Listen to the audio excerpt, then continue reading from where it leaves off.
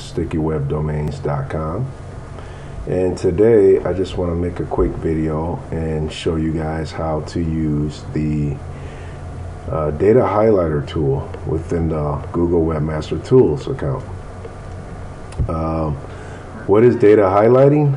Uh, data highlighting is uh, uh basically uh, marking up your web page, um, also known as structured data, so that Google can have a, a better understanding of what your page is about. Um, it's kind of like I want to say a roadmap for Google. If you, for instance, list events or review ratings, this structured data is great to tell Google because Google will show those event listings right in the search result uh, snippets.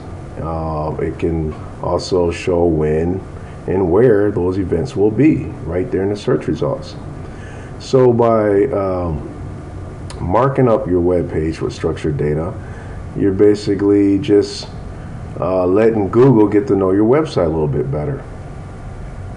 Uh, to use this tool, you have to have an account uh, with Google Webmaster Tools just go to go to google.com slash webmastertools and create an account um, there's a lot of great information uh, this account will give you about your website.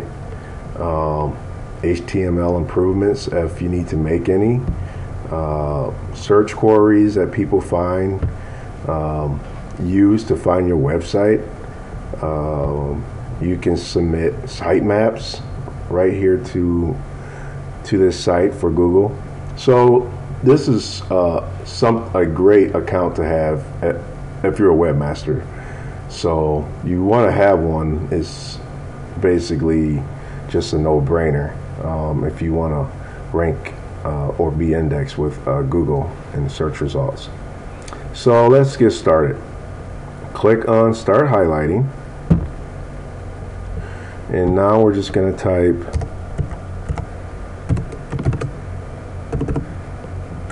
the web page that I want to highlight.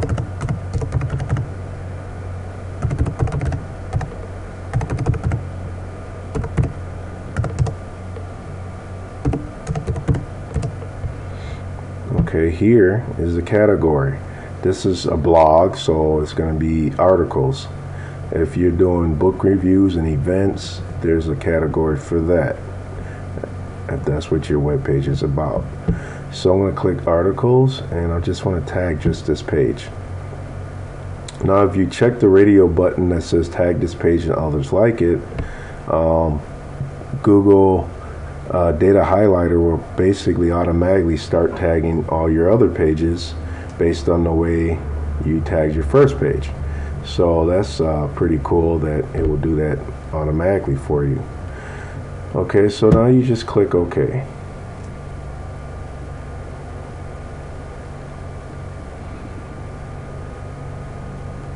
we're gonna wait for that to come up okay here we go it's loading that page. Alright so now that that page is up all we're gonna do from here is start to tell Google um, what all this means.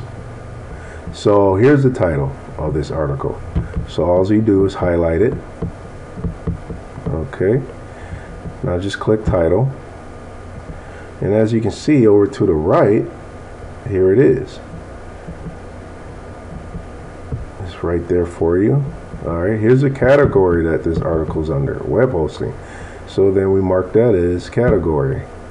Again, over to the right, you see that pop up. Okay. Here's the date it was published so here you just go to date published click that and there you go again. Alright so here's my header image for my blog. I can even highlight that.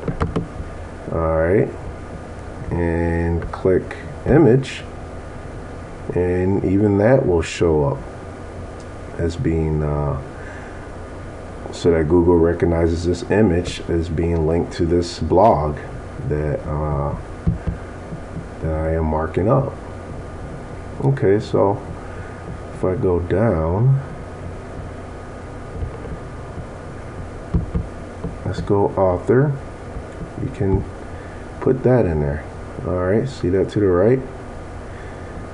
And it's basically that simple.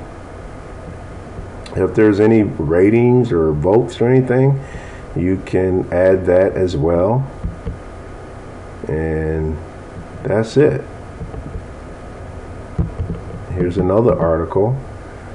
Uh, hit title. So you see that pop up.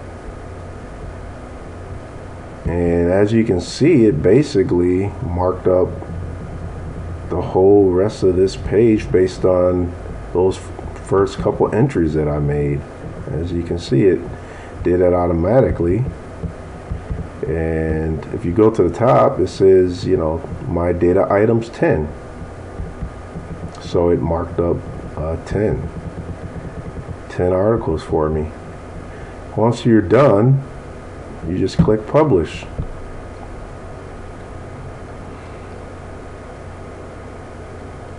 So now that has been published, and it may take uh, 24 to 48 hours perhaps for Google to uh, index this this markup, and then you can go to your structured data here, and you will know it was marked up because it shows on here 54 items for example on six pages.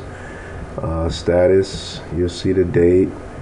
Um, you go down here you'll get this information. If there's errors you'll see that. I, I've got four I gotta I gotta check that out a little later see what that's about um, you can also go to the other resources tag here Okay, here's a structured data uh, data testing tool. So we can test to make sure. Here it is. Here's the page, the link that I just marked up. You can test to make sure that uh, that structured data is being shown or that Google does have that structured data. Okay, let's see here.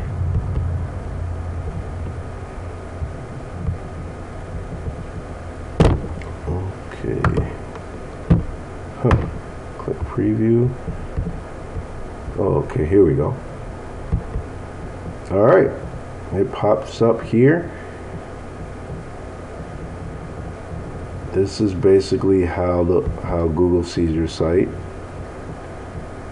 Extracted structured data.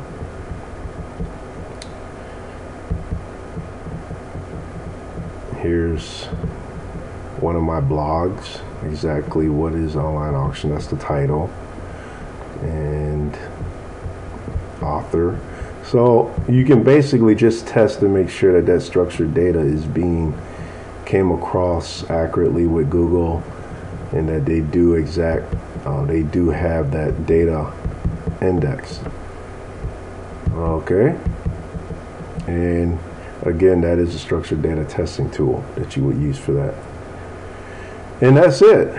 Um, once you've done that, then you've just added structured data to your web page.